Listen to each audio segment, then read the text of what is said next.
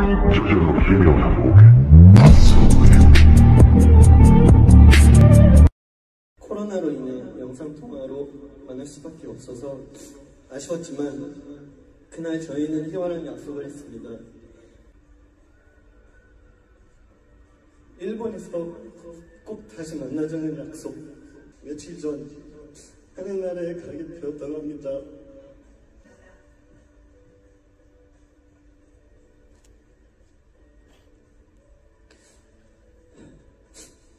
오늘 저희 콘서트를 보고 계신 모든 스테이 여러분을 위해 그리고 하늘나라에서 저희 공연을 보고 있을 희와 생각하면서 May that stay named Hiwa rest in peace. Anyways guys I just wanted to give a shout out to this person who commented on my video. It is such a nice comment so I just had to give them a shout out. Thank you guys so much for your support.